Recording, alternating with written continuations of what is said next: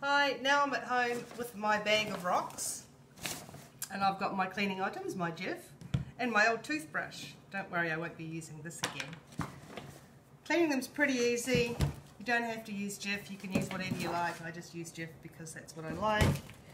Uh, anybody watching from overseas, um, Jif is just a cream cleanser. I think they call it Cif in the UK, if I remember rightly. In America they call it cream cleanser. Anywho, just grab your rocks, run a bit of water on them, get it wet, get a bit of your Jif. You don't need much. It's just dust really. Um, give them a bit of a scrub, make sure you get all of the dirt out of the, the pores that are in the rock. Rinse it off, make sure you haven't missed any bits and that looks pretty much good to go. That one wasn't actually all that dirty, so um, pretty easy really. And then just lay them to one side.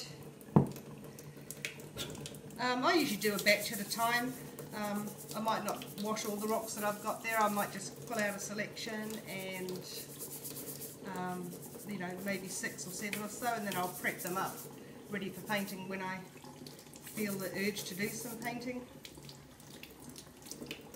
Um, what I will say is make sure that they are thoroughly dry before um, before you do any painting. So I'd leave those aside um, for you know at least half a day. Turn them over because they'll dry on one side and then turn them over to the other side. And then you're pretty much good to go. So I'll see you next time for painting.